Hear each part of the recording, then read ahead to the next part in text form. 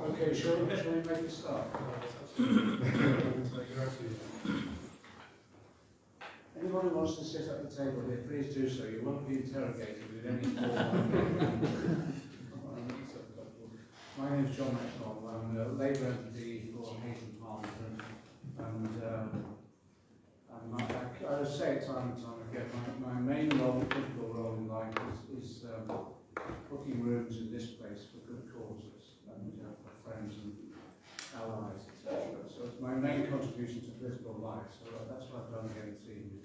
Um, Dashty contacted me because we've been working together now for I over a decade, if not longer, around a whole range of issues. Um, and the purpose of the, tonight's meeting is to have a thorough discussion about what's happening at the moment, suffering that's going on, the campaigning, the courageous campaigning that's going on, and also the consequences of the actions for us here as to what happens to Iran and elsewhere. Um, We've got a whole series of speakers. We're going to keep this as informal as possible, so people will speak and then we'll have a thorough discussion and questions, etc.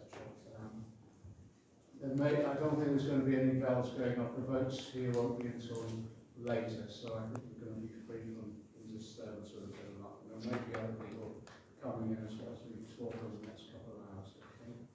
Um, so our first speaker is Dashty himself. People will know Dashty, but let me do the bio anyway, because it's worth putting to the record.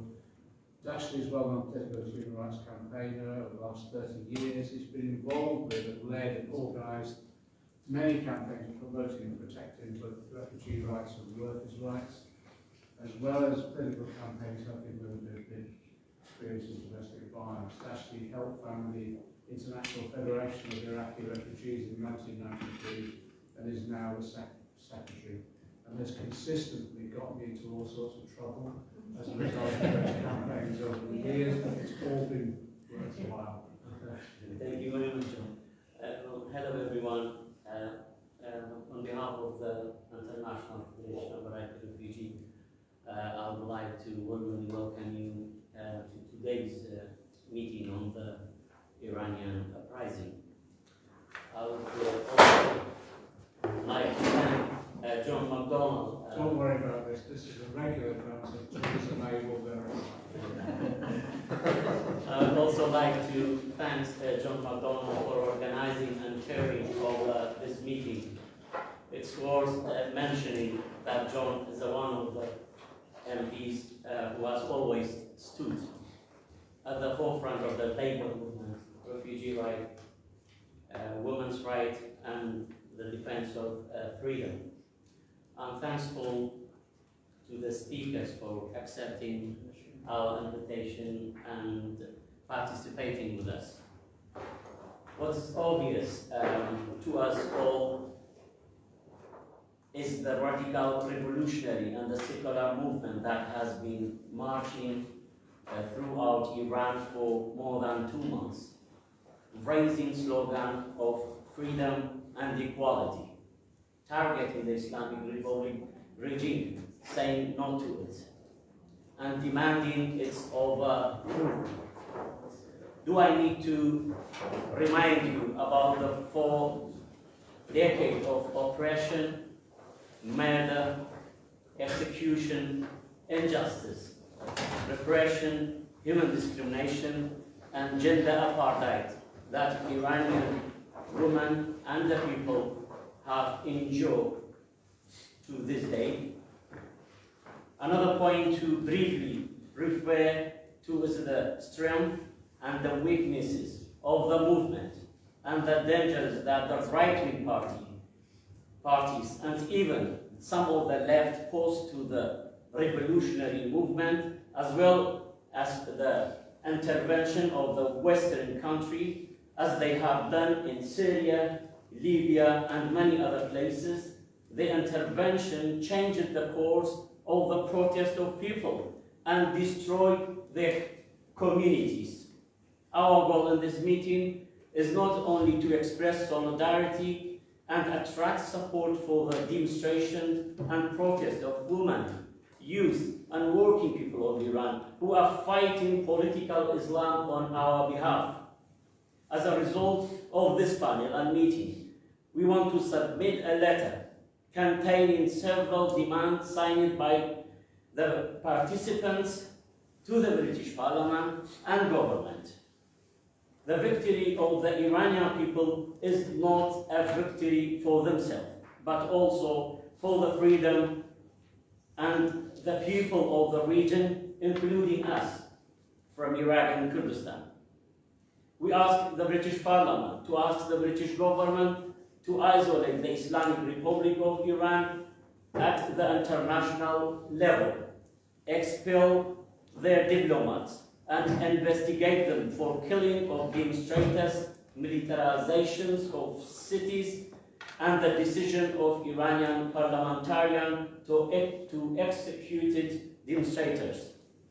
I ask the speaker and participants the, uh, to move the meeting toward discussing the assistance that can be provided by parliament, political party, and trade union. Finally, we have a memorandum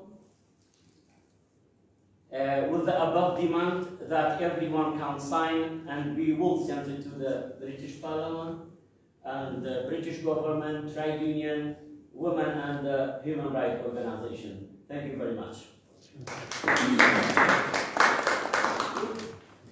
Okay, um, thanks, Dashty. Our next speaker is Halaleh, she's a Kurdish woman from Iran, fought for several years first. Oh, she's late? Sorry. Okay, don't worry. She's another, another meeting here. It's flexible. I Yeah. think okay. I should get used to this, shouldn't I, really? Yeah. When Halaleh comes, I'll introduce her straight away. Nothing? Okay, let me introduce Nasrin. Um, she became a civil rights activist when the Islamic regime took down 79, arrested in 82, spent eight years in prison. Her books um, include One Woman, One Woman Struggling with Iran, Prison Memoir, and The Secret Letters from X to A, which is produced by Victorina Press in 2018. Nasrin's been courageous in speaking out consistently over, over that period, despite all the threats. When I was arrested, I was taken to the Joint Committee Interrogation Center. I was tortured until I was paralyzed. A month later, my head was bashed against the wall and as a result, I developed a brain tumor. The tumor was extracted in 2012 in London. I was in that interrogation center for six months. The regime made the prisoners during torture. They used that interrogation center for 20 years. But despite this, in 2003, when they turned, turned it into, a, into the Black Museum, they said they'd never used it, and that it was only used by the Shah's regime. In 1988, the regime massacred more than 5,000 prisoners and Raisi, the current president, was the chair of the committee that decided who should be executed. Raisi is a criminal, yet in the midst of the people's uprising in September, he was welcomed to the United Nations General Assembly. As we speak, the regime is killing prisoners in the same way that uh, Nazis did. Last month, they torched one of the wings in Evin prison, burning more than 100 prisoners to death and shot many others who were trapped in the burning buildings. Despite all these depressing news, I feel more hope for Iran than at any other time in the past 40 years, and more fear as the regime is using tanks, rockets, and gas in an attempt stop the first women's revolution in history. This revolution has to succeed. People know that the regime will massacre them if they give up. It is death or freedom. In future, historians will look back on this revolution and will they'll judge us. This is a renaissance that will affect the whole Middle East, and the price of it human life. Your grandchildren will read books about this revolution and learn that the UK media never showed a speck of it because the UK government didn't approve of getting rid of the Islamic regime. After all, the UK government was one of four Western powers that decided to replace the Shah with Khomeini in the Guadeloupe Conference in 1979. How do they like it now that people are fighting for secularism? It seems that Western governments didn't anticipate a women's uprising and they didn't have a ready-made alternative to do a regime change. The Western governments are so scared of a secular Iran that might be governed by young people who are fed up with, the, with all the powerful governments that their only weapon now is to hide this revolution behind a thick wall of silence. A silence inspired by racism. You don't hear from the UK media that more than 500 people have been killed, with more than 60 children among them. Don't hear this from the UK media because we are just numbers, not people to them. They aren't saying that there is a war in the street between people and the regime, with European-made bullets ringing against stones. My generation wanted the same things that this um, young generation wants now, and we were butchered. The people in the streets are fed up with gender apartheid, poverty, the lack of freedom, and they want to get rid of the regime. When I was in prison and fellow prisoners were called for execution, they would kiss us and say, stay alive before being taken away. And right now, in Iran, friends call each other simply to say they are still alive. A revolution is unfolding. The regime kills her, her mother takes her place. The regime kills the boy, and his father takes his place. The schools have been turned into prisons because the number of arrests is greater than 20,000 and the regime doesn't have enough space to keep and torture prisoners. It reminds me of the time when I was arrested.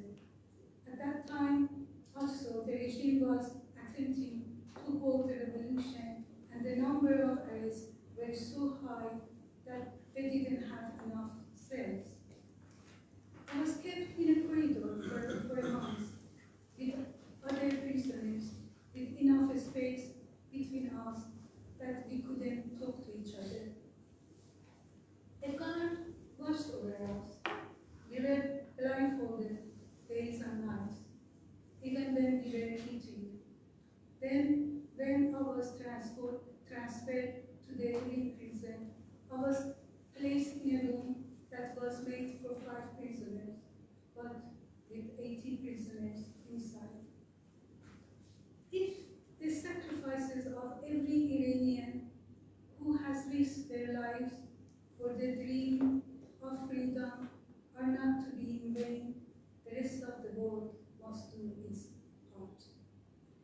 Media should report on the regime's atrocities and give a voice to those who are protesting and let the world see the reality of what is happening in Iran. Dear John McDonough, I hope you don't mind. I have a few questions for you. And if you don't know the answer, could you please raise them in the House of Parliament? Do you know if the, if the UK government is going to be involved in regime change in Iran?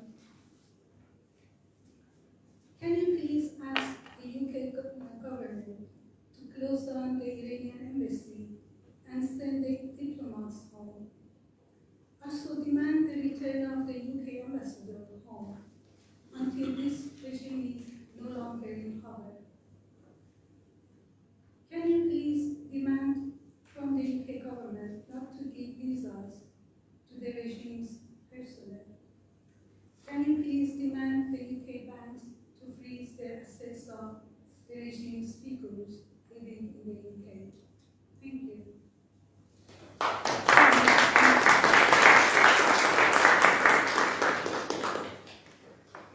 Nasrin, I'll come back to your questions at the end, okay? When we respond. Um, If you want, I have- I can give you my questions. That's all right, I jotted them down, but I will. Okay, thanks a lot. Okay, our next speaker is Maryam Harry Namazie, is a Iranian-born writer, campaigner and spokesperson of One Law for All. Thank you. Um, thank you very much uh, to Dashty Jamal for organizing this and for the always wonderful struggling uh, on our side, John McDonald, uh, for hosting this uh, meeting for us.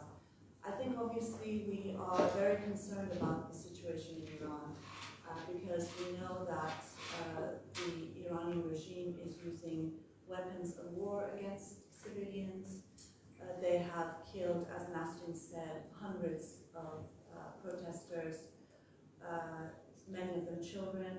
They have imprisoned and arrested 15 to 16,000 people already. And this is only since September 16th, when Mahsa Amini, uh, the young woman who has become the symbol of our revolution, was killed because of a few strands of hair.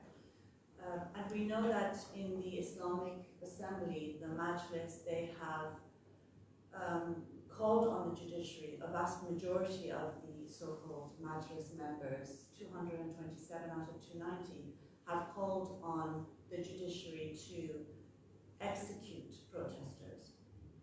And there are people who say that they can't possibly execute 15, 16,000 people. Uh, I don't think they can because the power balance has shifted in favor of, of people, but they have killed thousands upon thousands of people in very short periods of time. Uh, in the 1980s, it's called the Bloody Decade, where they killed, uh, you know, five to 10,000 prisoners in one summer alone in 1988. Or in the 2019 protests, where they shut down the internet, and in three days they killed um, up to 1,500 protesters. So this regime is capable of murdering the political prisoners. Their lives are at risk.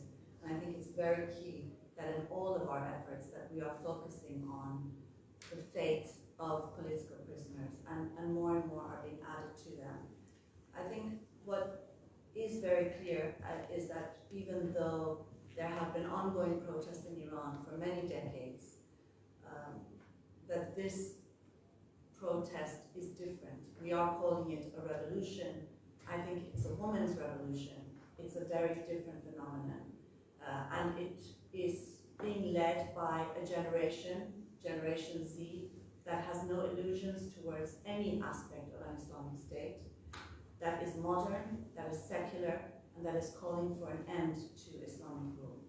Uh, and I think we will all agree that the bravery and courage of this generation is awe-inspiring, and it has inspired the world. And also, the slogans of this revolution are awe-inspiring.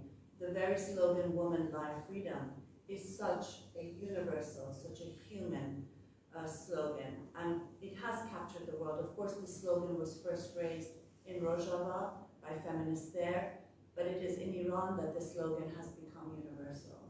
And I think when we look at what, what's happening in Iran, it is a, a, revolution that will change the face of Iran, the Middle East, and the world. Because we know that we have witnessed the rise of Islamism when the Islamic regime of Iran established across the Middle East, across North Africa, South Asia, and a corresponding rise of other religious right movements across the globe. So it has helped the rise of Christian fundamentalism, Hindu fundamentalism in India, Buddhist fundamentalism in Sri Lanka and Myanmar, and of course Jewish fundamentalism. So, and woman's revolution, a woman-led revolution, a revolution led by women and girls, challenging this regime, bringing it to an end, will have the opposite effect across the globe. It will be, it can be the beginning of the end of the religious right. Uh, and, and that's why it's not just a battle for the people of Iran, but it is very important for the people of Afghanistan, of Iraq, of the region, and also, of, of, course, across the globe. Uh, Britain is not immune to the rise of Islamic fundamentalism and religious fundamentalism right here as well. And so it will have a very positive effect. And I think also when we look at the establishment of an Islamic regime in Iran, which came to power in large part because at the time it was uh, favorable for US and Western government foreign policy to have an Islamic state, to create a green belt around the Soviet Union at the time. So with this establishment of this regime, its first steps and moves was to put the veil on women. One of its first slogans was, you either wear a veil or you will be smacked. And they imposed the veil on women and girls by throwing acid in women's faces, by putting pins in women's hair to make sure that the veil was attached. And we know in 1979 there was a mass uh, women's demonstration against compulsory veiling. And all of these movements have been suppressed, but we've come to a point where now you have young women and girls from Generation Z who are not only removing the veil, but they are burning it. And this veil, it, it, it is a symbol of this regime. It came to power with this veil. And this woman's revolution is going to overthrow this regime with this very veil. Um, and so I think it's, it is really a duty of all progressive, left, working class, labor organizations, feminist organizations, socialist organizations, to support this revolution because this is their revolution as well. And I think, you know, I personally, and I think many people in this room, will have no faith in the British government. The British government has been saving our murderers for decades now uh, at the expense of human rights, at the expense of uh, women's rights, uh, labor rights, and so on and so forth. But I do have great faith in the British public, in trade union and labor union organizations, in feminist groups, women's rights groups, LGBT groups, to come forward and stand with this revolution and this universal slogan, which is the slogan of all decent people everywhere. Um, so I think it's hugely important that we ask MPs, progressive left MPs, trade unions, uh, and others to immediately and unconditionally demand an end of relations with the uh, the British government's relations with the Islamic regime of Iran, that the Iranian regime is kicked out of um, its embassy, its embassy should be shut down, the Islamic Center in Maida Vale and other Islamic centers um, in the UK should be shut down. They are dens of this regime. They are um, um, basically uh, pillars of this regime here in the UK. Um, and also, of course, for the Islamic regime of Iran to be kicked out of the Commission on the Status of Women, to be kicked out of ILO, the International Labour Organization. These are immediate and practical steps that can be taken by MPs to put enough pressure on this government to, to do what is right. Clearly, uh, this is not, I, am completely against regime change. It is not the job of any government to change the regime in Iran. That is the task of people in Iran. But it is the job of the government here to stop supporting uh, the Islamic regime of Iran that is massacring people. so I think that this is key, and this is the message I think we have uh, to the parliament, that it is important for the British government to stop, stop uh, saving the regime. And I think we have lessons to learn from the racial apartheid regime of South Africa. You know, Mandela was considered a terrorist by the British government.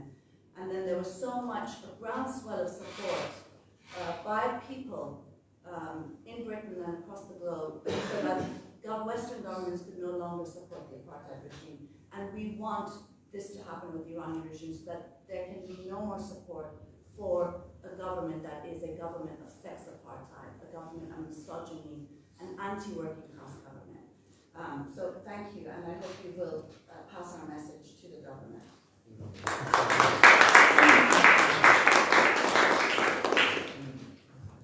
We'll come back after the speakers for a more thorough discussion of the actions that we need to take together through our different representative bodies. Okay, our next speaker is Sonia Mohammadi, Workers' Rights and Rights Activist. A. Worked with the Women's Rights Organisation in Brighton. After she left, uh, Sonia's been continuously struggling for women's rights and freedom and equality for all the world, rid of divisions based on gender, race, creed, nationalities. Sonia. Thank you very much. It's great to be here, not just because of the current uprising in Iran, but also as a displacement person. Because these movements, I'm quite proud of it as a dis- displacement person abroad. It wiped all of all the labels of uh, anyone is uh, belong to Middle East or Islamic countries that uh, ex- we expect they should be Muslim, and that's not that's not actually uh, the reality. The reality is uh, the Islamic government being opposed on people by force, on no one, or at least not all the people chosen for it. So that, that's why I'm proud of it. Then I can proudly say I'm an atheist and I'm not a Muslim just because I was born in an Islamic uh, government. So I actually go to the point of uh, the mass uprising of the freedom-seeking people of Iran.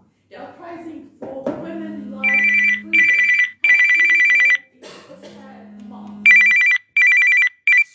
Sorry. It's all right. Three months of protest strike has faced the governmental brutal suppression and have 400 and have had 400 casualties and thousands of injured protesters. Systematic and state violence against women in Iran and the gender apartheid has been an ongoing phenomenon in Iran for the past 40 years. Women were one of the first groups who stood against the Islamic Republic violations of people of, people's freedom.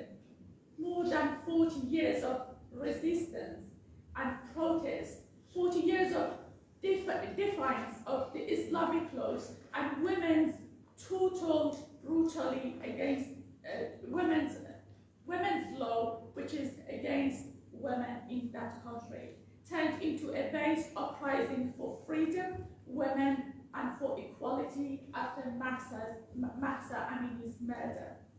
Today, this movement will not settle for anything less than women's full freedom in all aspects of life, curbing the government's influence and all its means of suppression, from the moral police to the Basij, from the parliament to the industry forces, and curbing religion's hand from the private and social life of women.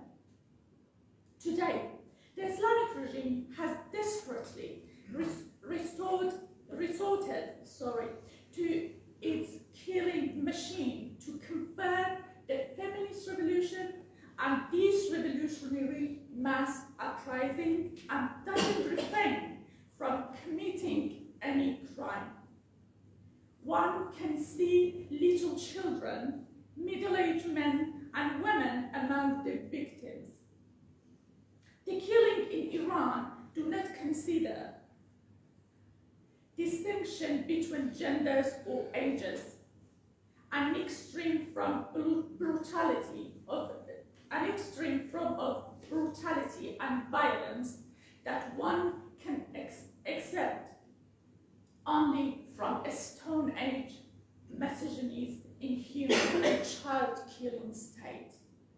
We, the freedom seeking people, invite all women's rights organizations, organizations defending the rights of children, workers, and all humans, all those who seek freedom and equality to stand against the systematic violence against women, gender apartheid in Iran, and for supporting, obviously, for supporting the brave men and women who, who have risen up for fighting for freedom and equality. Under the banner of Women, Life, Freedom. And we also, we also invite you to commend these official state against any violence against women in Iran. I think this situation, it's been, uh, that, that's the good point of it. The situation have been globally spread and I'm so glad finally, finally activists, politicians, mainstream, main newspapers covered the issue who, uh, which, which people, and especially women, have been suffered for four decades, and this is a shame. A shame in this modern world. This is a massive shame that people who still are fighting for their basic rights in Iran, in Iraq, in Afghanistan, in the Middle East, in other countries abroad. I can easily connect this movement, this movement of women's leading it, and it goes to third month of the and continuing protest. I can easily connect it to the movement against racial apartheid in South Africa, Maryam also mentioned it. And all, all the politicians, all the unions and organizations abroad have come to, uh, to backing that battle. We need that today. Today is the time, tomorrow is too late. People are killing, people, people are killing clearly in the street. And protesters, all day protesters are facing the death penalty. Uh, as Maryam also mentioned, that 227 MPs Islamic, in Islamic uh, parliament who voted for the execution of all protesters. This is beyond horrific. We have to act today. We have to actively act, make a statement, write an open, an open letter, and invite, invite all organizations to come along. This is an issue which, if succeeds in Iran, it can clearly affect in other countries in Middle East and cut, cut the, the Islamic religious government hands from all the aspects of women's life that what we need. As a human being, we have, women's, women's right is a human right, and as a human being, we have rights to be included human rights, uh, and it has nothing with nationality, it has nothing with ge ge geographic uh, uh, tradition, geography, sorry, excuse my English, it, it has nothing with those things and it, it is an international demand. We have to recognize women's uh, right in Iran as an international right and not less than that.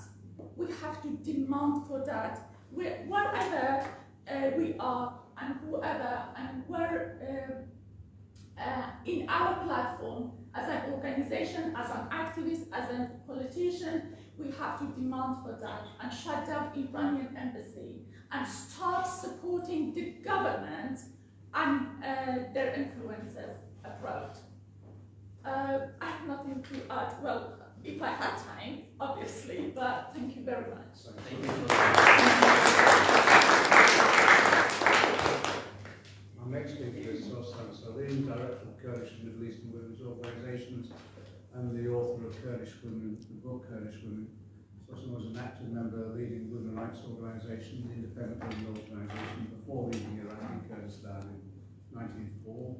In 1999, she established the Kurdistan Refugee Women's Organisation, now in the UK, we've worked with over the years. And in 2002, she launched an international campaign against honour killing. Thank thank you, but if you don't mind, guys, I'd like to stand up. It's not to be seen. That's, okay. Um, thank you, and, um, uh, thank you for, uh, Director Federation for inviting me. Uh, yes, as you mentioned, we've been around for a long time and fighting for our rights and want to see one day there is, um, a freedom uh, in, in all countries we came in from. We are here for reason, and that's why, but we didn't stop. We didn't stop for fighting and to be a voice for women's rights in Iraq, in Iran, in Syria, in whatever country we came from. Um, after I heard the, pain and sorrow and the powerful speech from our colleague, I'd like to bring you to Iran as example. Because um, uh, we, the time when Iraq invaded, uh, America invaded Iran, we had a hope that we get away from Saddam Hussein and we're going to have a free country. Yes, we had a freedom, but for minority, not for majority. And American, first when they stepped into Iraq, they started dividing the country between Shia, Sunni, Kurd, Arab, Turk, and also they started bringing a national reactionary party and a religious, religious party to rule the country. And what they brought, instead replying to the demand of people in the country, they started pushing women back to the house and telling them, your main, yeah, your main place is your family and the house. And they also started uh, uh, arresting and killing activists. And uh, what happened after it, they brought uh, the Sharia law to our law, although we were struggling against Saddam Hussein because their law is not secular.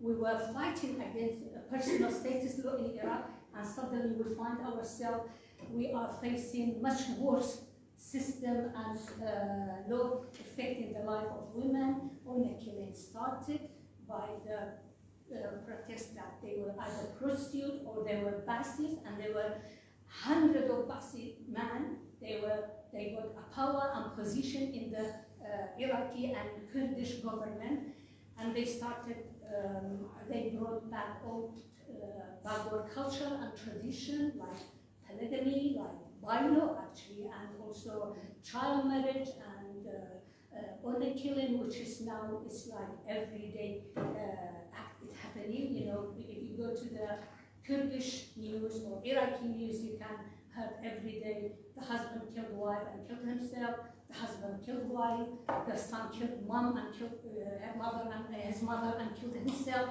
Uh, a young girl, the body found of a young girl, 17 years old. This is like every day happening, and nothing, uh, nobody listening, and not, nobody, I mean, from the authority. Uh, this is the, the, the gift we had through the invasion of America. Instead, helping people leaving the camp, because the time when it happened, I remember we were campaigning uh, with President and you to not to intervene with Iraq issue, because our issue is our issue, it's not American issue, but what American created that, that environment until now, we don't have a country. Once Saddam left, we have 10 Saddam, and the system is much worse and brutal than before.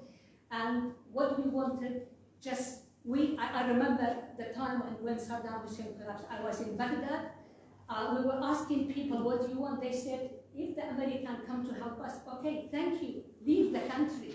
But they stayed. They influenced their policy. They were there not for Iraqi people, for their policy and supremacy. And also, it opened also another door for Iran and Turkey to intervene in Iraq uh, situation, as, as, as, you see. And we always we were saying, if America uh, enter any country, the, the, uh, wash your hand from this country. They're going to destroy the whole country. And it's the same when we're talking about uh, Islamic regime. When they enter any country, the country is destroyed because they attacking all human rights or women's rights. They, uh, they bring back all uh, uh, traditional culture and uh, religion, and they are not uh, respecting humanity and human rights or women rights. This is what happened as example, and it's not just Iraq. Look at Syria, look at Afghanistan. They were even playing with the fate of people. You know, they just looking at their uh, um, advantage. They're, they're, you know, they're looking for their policy had to influence their policy in the area like Middle East, in the area like Africa, and in the area like Asian, and that's why they destroyed the whole country from from Syria, from Lebanon to Iraq to Afghanistan, and now Iran. That's why, from the point we started with until now, we don't want America. You know, one of the demands we have today, not to let uh, outside the country intervene in our demand, in our right. There's a very secular, very progress movement started in Iran, and they have to decide what they want. is led by a very progress people. It's not something they need people come from outside and give a hand to help them what to do. They know what they want, and we don't want any outside the country to intervene. That's one thing which is demanding and is very, very important. Second, any victory with this movement in Iran is a victory for the whole Middle East. You know, because the first place is Iraq and Kurdistan, because they are loyalty, they are loyal to Iran. If they were, if the movement, if the revolution success, successful, there is, is, a, is, is victory, the victory is for us. We get rid of this old hand in our country. This is all, and that's another, I'm adding again because uh, our colleague then mentioned that to, to ask British government to close uh, Iranian embassy, to stop their diplomatic relationship. This is something making that this government more weaker instead giving a power or standing in their side. What is like that? What happened? Because we were always, when it comes to Iraq, they were uh, the American pretending that came for victory to help Iraqi people. And it's a question for us. What about the time when Saddam Hussein used chemical bomb in Halabja and killed 5,000 people? Why they didn't come to rescue us? What about when they were uprising uh, in, in 1991? Why they didn't come to? They let Saddam stay in power for another 10 years and also they put economic sanction on Iraqi people which is the, the 500 people be, be, become victimized by the economic sanction. And that's why we all, uh, you know, we are standing here in solidarity with Iranian and women and people movement in Iran, and we wishing for success and uh, winning what they, uh, what they are fighting for. But also, in other hand, we're asking everyone to stand in our side and not let the, uh, the, the outsider change the view of the people in Iran and also hoping John and anyone from government side to demand our demand and be in our side. And thank you very much. Thank you.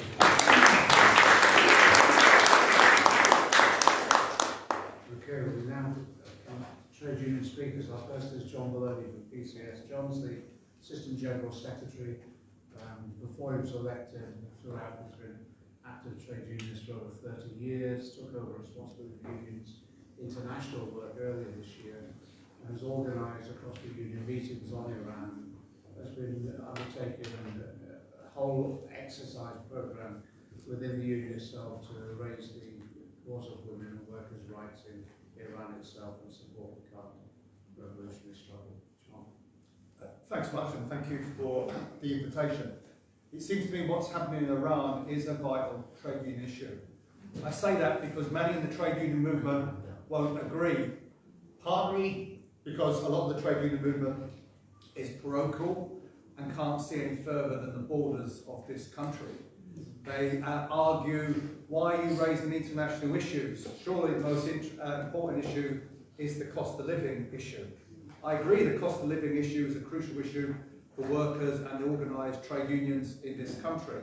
But it seems to me, if you believe in the applicability of human rights, then you have to be in the favour of human rights in Iran, just as you are in this country. Human rights, the rights of women, the rights of trade unions, don't stop at Calais. They don't stop at the edges of the European Union. It seems to me, and more importantly my union, that they either universal applicability, in other words they apply equally everywhere in the world, or else they're a complete waste of time. Therefore, if you believe in women's rights in this country, you have to believe human rights and women's rights in Iran.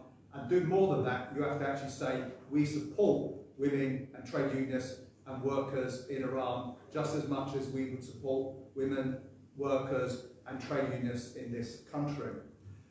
Unfortunately, there's another strand of fault within the uh, trade union movement and the UK trade union movement because obviously the UK trade union movement is, uh, uh, reflects and refracts various views on the left, which will look with suspicion at what is happening in Iran.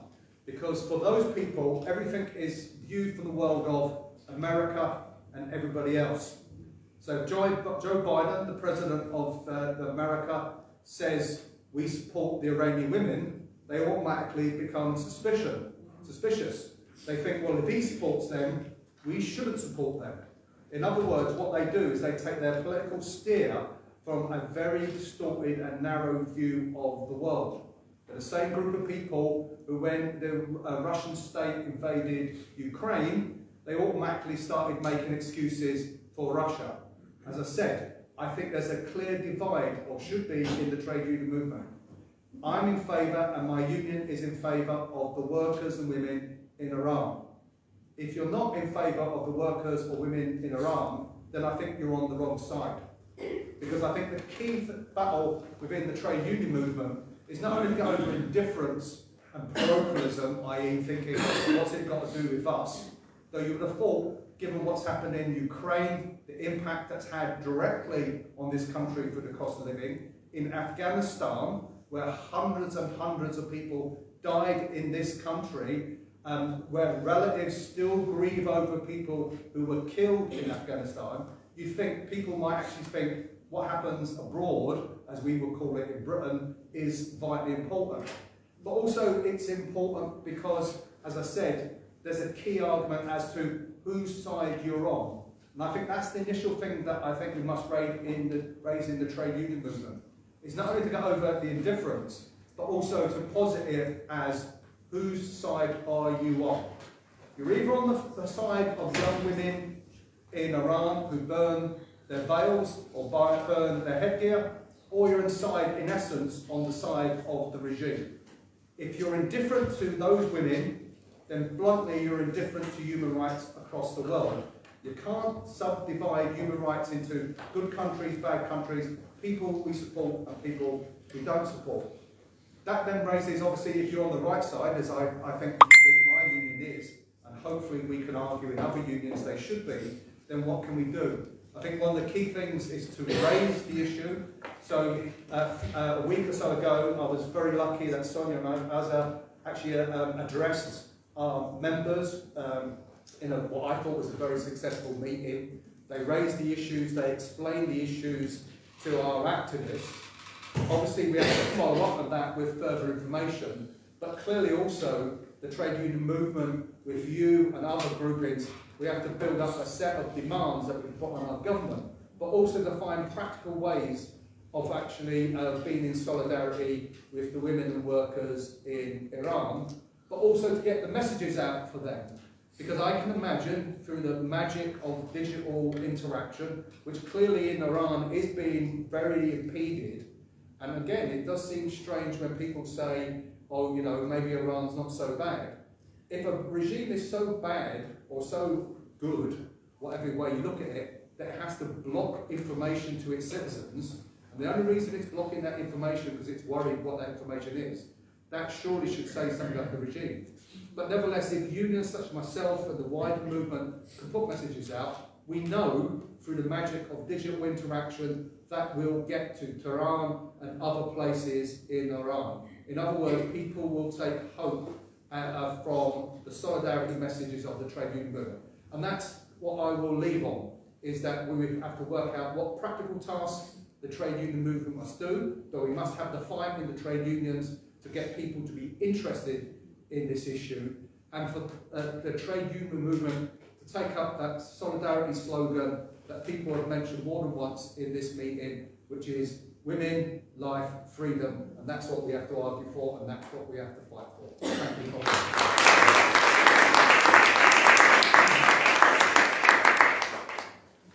Elena has joined us, Elena, with your permission, I'll bring in Daniel Randall from the RMT. Daniel's the Vice Chair of the RMT Bakerloo Line branch, and we've been campaigning on industrial and other international issues as well for a number of years.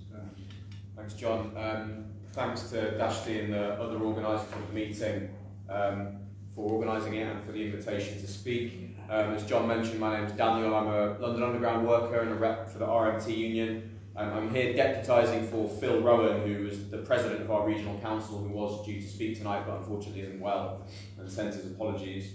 Um, so again, just to thank the organisers for the opportunity to speak, which I should stress I'm doing in a, a personal capacity. Um, although RMT, my union, does have um, historic policy in support of workers and democratic struggles in Iran, um, this is obviously something we need to renew in the context of the current uprising.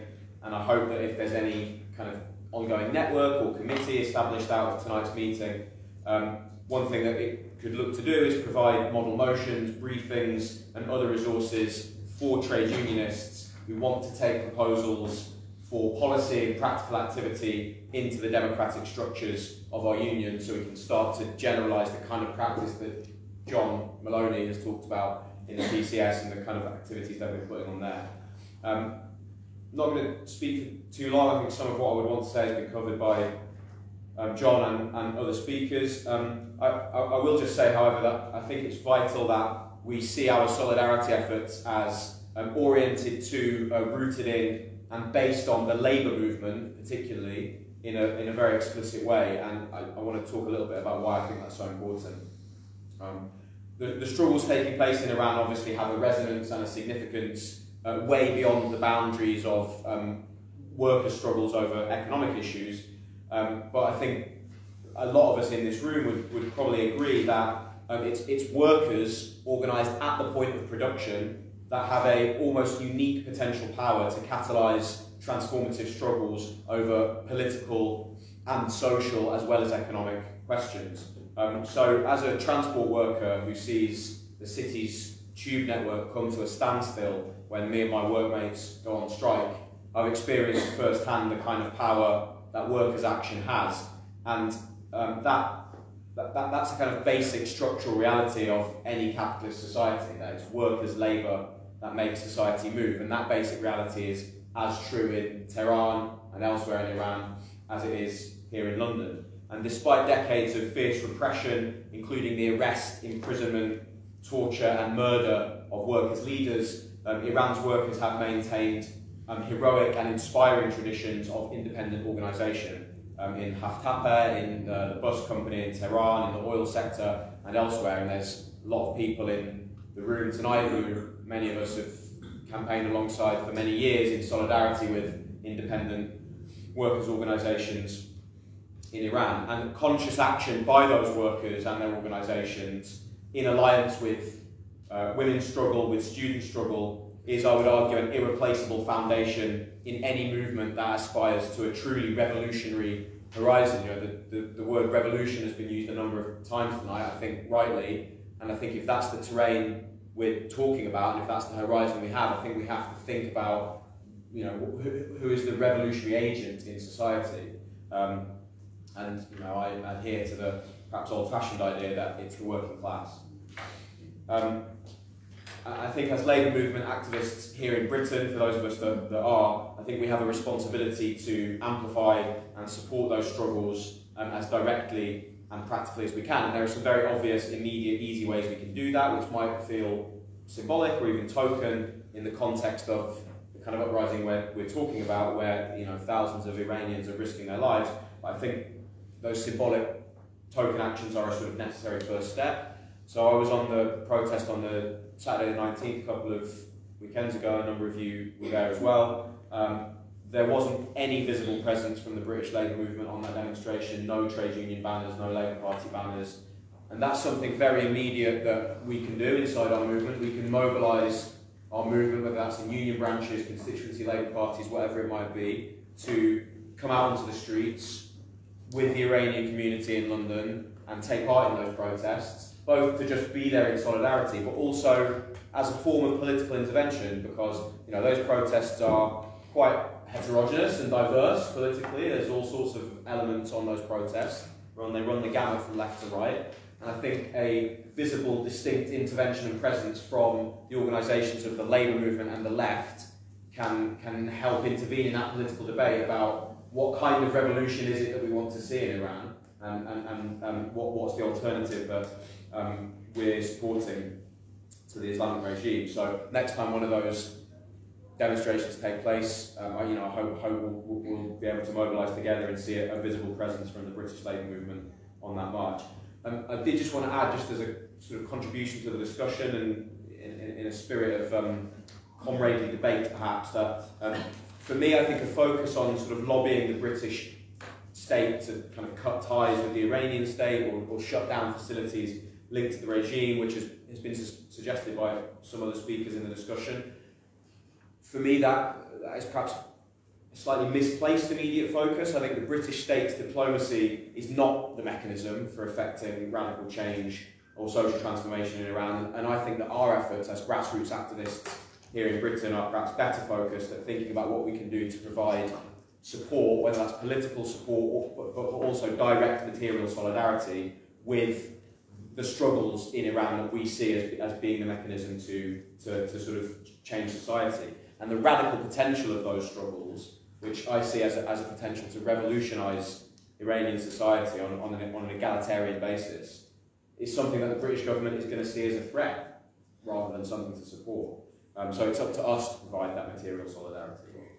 Um, the, the best traditions of, of working class internationalism are those that see workers in different parts of the world taking direct action, leveraging our own power over the production process to support the struggles of workers elsewhere in the world.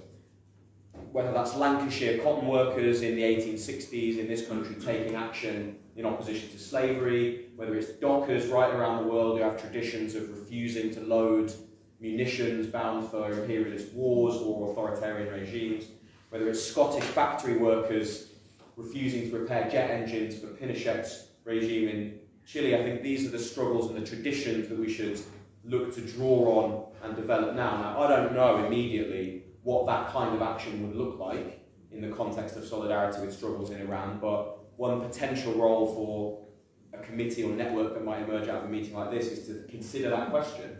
What power do British workers have directly in terms of our role in global supply chains and in global production processes that we might be able to leverage in support of the struggles of workers in Iran.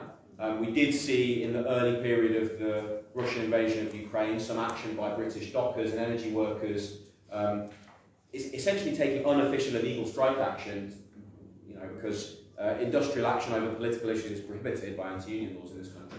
We, we, we did see some action of workers, you know, attempting to kind of disrupt, use their power in the workplace to kind of disrupt the Russian war machine.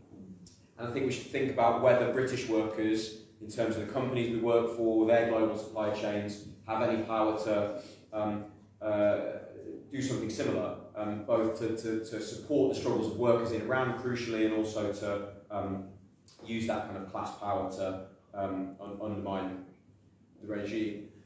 And that's the kind of note I want to sort of finish on, really, and reiterate this idea of a, a solidarity that is class-based, that is, that is rooted in the labour movement, and I'm not saying that out of any sense of kind of solipsism because I, I'm a worker and a trade unionist myself, but it's really about this analysis of, around where power lies in society. Um, uh, comrades have talked about this revolution being a women's revolution. I absolutely echo, uh, entirely echo the sentiment behind that, and I don't mean by arguing for a focus on organised labour and on workers' action to detract from or, or um, pull focus away from the um, very central role of um, struggle over gender oppression. Um, but again, I think it's a sort of structural reality of any capitalist society that is workers, it's, you know, it's production, it's the workplace that's the sort of engine of that society and it's actually there that has the power to change it. So what I think we should discuss is, you know, both what can we do to support those linkages in Iran you know, where workers are taking action and what can we do to support linkages between worker struggle, women's struggle and student struggle. And then here in this country, um, for those of us that are active and, and, and um, based in the labour movement, what can we do to mobilise workers to support solidarity protests, but also, as I say, to potentially leverage our own class power in support of what's going on in Iran. And just a sentence to finish, look, our world is very uncertain, it's chaotic in many ways, it's a sort of bleak and frightening time, but there are always sparks of hope, and I think the uprising in Iran uh, and, and also just in the past few days renewed working class and democratic action against um, the regime in China as well are two flashpoints, I think, of popular resistance to authoritarianism um, that should inspire us and impel us to, to, to act in response in, in the best traditions of, of working class internationalism and solidarity. So I hope that's something we can develop out of the discussion.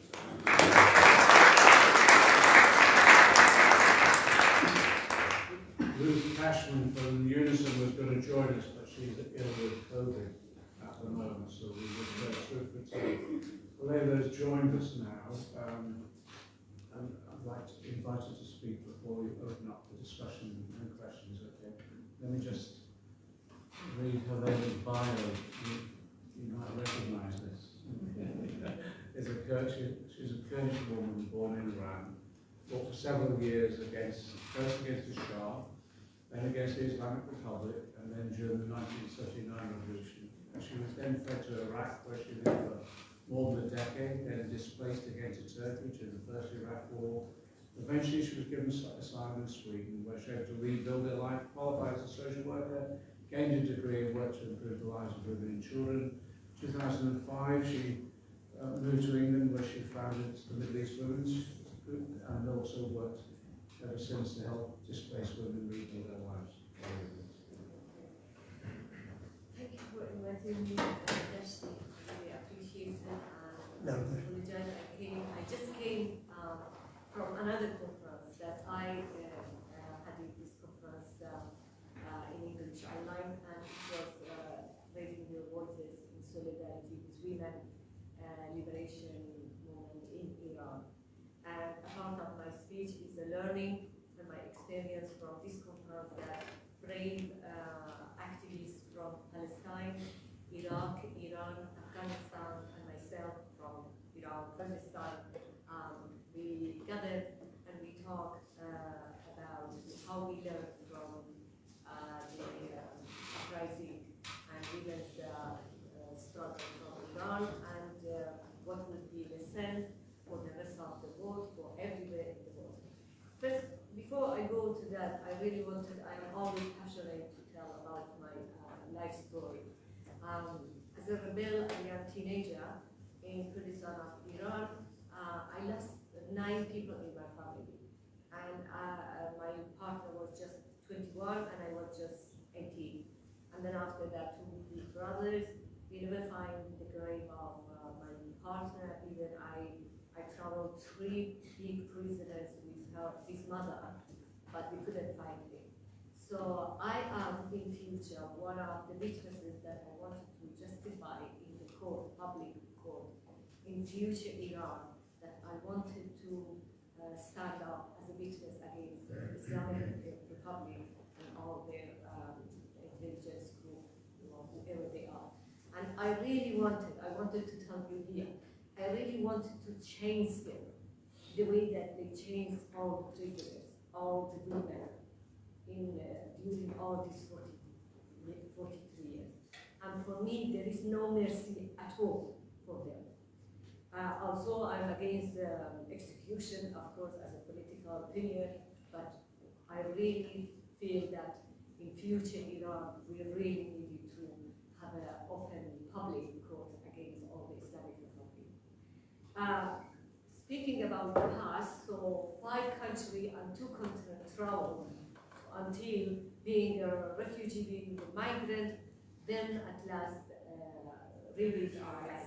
So of course, rebuilding life in this country is not so easy because it was so many glass ceiling in front of you and so many times you had your head by the uh, shock they treated migrant and refugee people. but I think I was one of the resilient women that I survived, survived perfectly.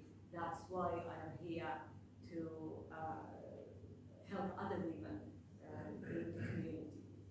Uh, one of the lessons that we talk about today in the conference was about if Iranian women could do that in 43 years, they never gave up. And from the first very day, they say no to Islamic Republic against the Wales. And all the time during all these 43 years, they fought it. So it means that everywhere else, women can do that. And one of the other lessons is that if uh, we are looking for alliance, the best alliance is men, because women in Iran and men and women in Iran show. Maybe it's one in million happening. So much men are side by side women during this century that we are looking. Uh, where else is happening such an amazing uprising? Men and women are so united.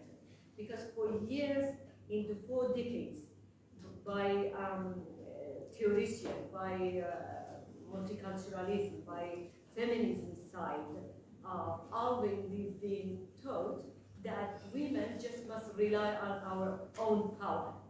And we are the only people that we bother about our rights and we must fight for our rights, which is not true.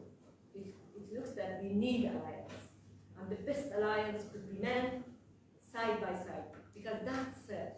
That's the ideology of capitalism, capitalism that always divided men and women, and then uh, or communities or nations segregating between them, and then they gain it from that. But unity between men and women, and unity between the uh, other movement like the worker class, students, universities, uh, teachers, nurses, all of them are united in Iran. It means that uh, women's movement, whenever they wanted to look after the alliance, it's not the states, not um, hierarchy of the um, stages, it's just all the people in uh, the country that they, they are, it's best the alliance of them.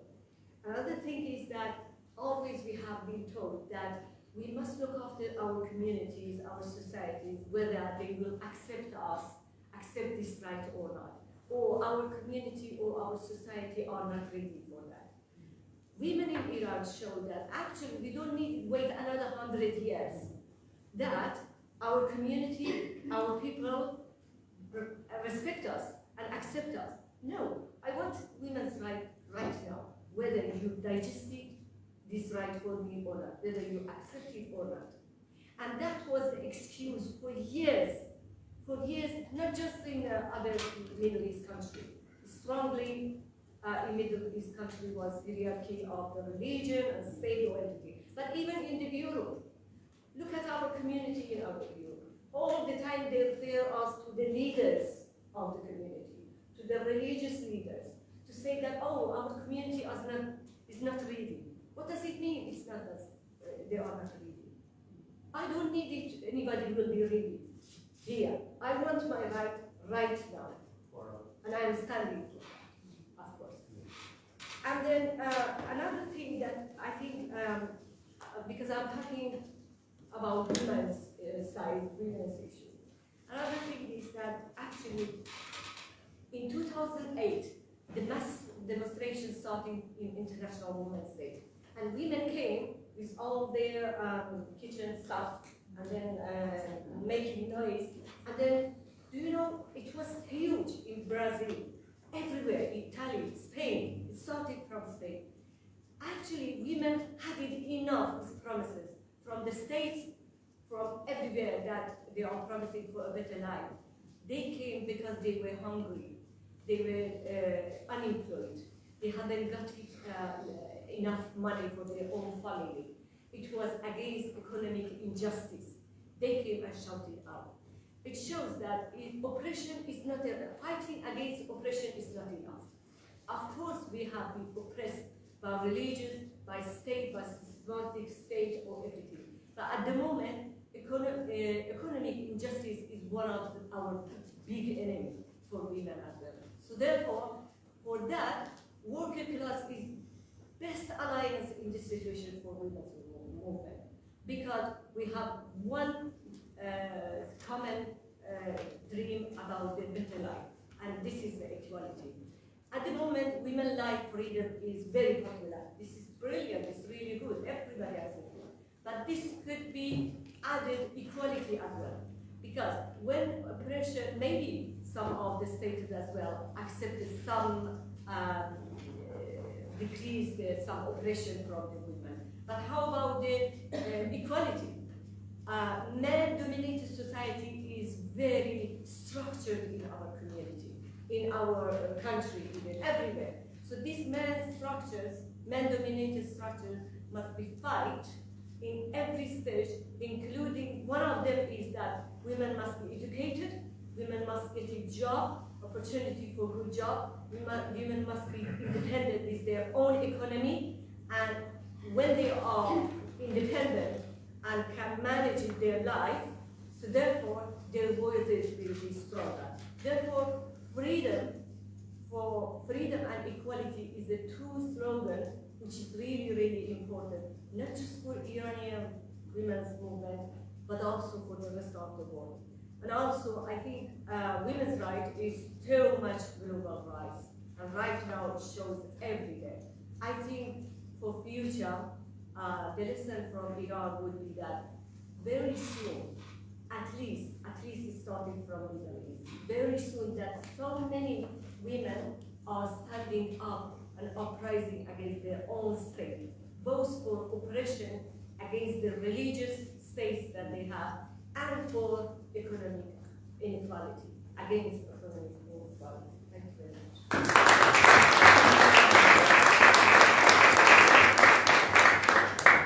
We'll throw it over to comments or questions. Can I just respond to some of the points that were raised and some of the questions um, put to me? The- Just to, I suppose, in some ways, recollect the meeting after meeting I've um, hosted here over, over many years, and the, the strategies have always been about how do we show solidarity with the various struggles. But then the second element of that is also how can we play a disruptive role in terms of our role in un- undermining the regime. Um, and that's been all the way through the different meetings we've had here, and that included when we held the meetings here around the um, bus workers strike in Tehran. It was solidarity, but then also what other elements could we do? We also, if you remember, we did that. We all workers, but also individual cases that we took up too. The um, when they imprisoned Jafar Panahi, the, um, the filmmaker, actually showed his films, and again, that was an act of solidarity just to expose what was going on and demonstrate actually we could break through the attempt to silence people. We, on the issue of sanctions, to be frank, we opposed the, the whole line of general sanctions that hurt the, the Iranian people. We wanted to disrupt the regime by having sanctions that hurt the elite in, of, of the regime itself, and that was about exposing the role of the City of London and the finance sector here, and it, it played both in terms of internationally funding um, regimes and at the same time covertly laundering money uh, for those regimes as well. So that was the, the that was the tenet of everything we did. It was about solidarity, but if wherever possible, uh, mobilising the, our movement, the labour trade union movement and others